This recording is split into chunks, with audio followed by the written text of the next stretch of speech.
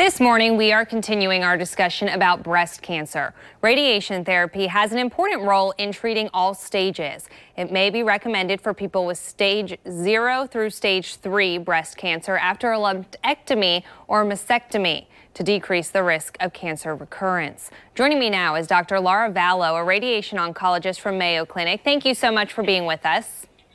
Thank you for having me. So, do most breast cancer patients require radiation? So that's a great question. And everybody, um, all the different patients have different um, needs or levels for the use of radiation. So it can frequently be part of the treatment plan in patients who have a lumpectomy or breast conserving surgery. It can occasionally be added even after a mastectomy in patients that have a high risk of cancer recurrence. Sometimes we also include the regional lymphatics in the radiation field uh, if there's evidence of lymph node positivity. So all of those um, those treatment options are really the ultimate goal is to decrease the cancer risk for that patient, either in the breast, on the chest wall, or in the lymph nodes. Can you walk us through a little bit further? What does it mean to receive radiation? Right. So, radiation therapy uses targeted high energy x rays. This destroys undetectable cancer cells and reduces the risk of cancer recurrence. Uh, there are various ways that radiation therapy is delivered. The most common way for breast cancer is with external beam radiation therapy. And that is where a linear accelerator is the, is the machine that we use it generates high energy X ray beams that are then targeted to the patient's particular site.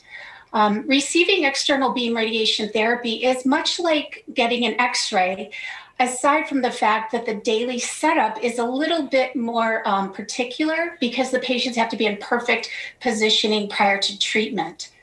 Um, radiation therapy for breast cancer patients is typically given um, through a prescribed course. The treatments are delivered daily. Each treatment takes about 15 to 30 minutes to deliver, and the total number of treatments really varies depending on the clinical situation of each patient. And doctor, technology seems to always be advancing, especially in the medical field. How is radiation therapy benefiting from that? So we've seen amazing um, changes over the last 10 years. We started out with standard two dimensional planning, and as technology improved, we evolved to three dimensional planning.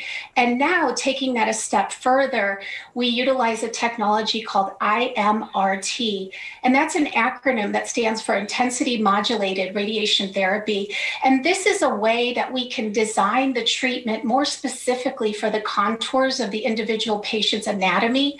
By doing this treatment planning, we can minimize the risk to the underlying normal structures, particularly the lung and the heart. We also have other technologies that we've developed and, and here at Mayo Clinic, and one is called respiratory gating. And that is a way of delivering the radiation therapy in synchrony with the breathing cycle. As a patient takes a deep breath, the heart actually moves away from the radiation field. So, by tracking that breathing and delivering the treatment uh, synchronized with the breathing cycle, we can further spare the underlying heart. Dr. Laura Vallow, thank you so much for being with us this morning and sharing all that very important information. You're welcome. Thanks for having me. And to find this story and more about detection and treatments, go to our website, news4jax.com. Just click on the Breast Cancer Awareness tab under the Features section.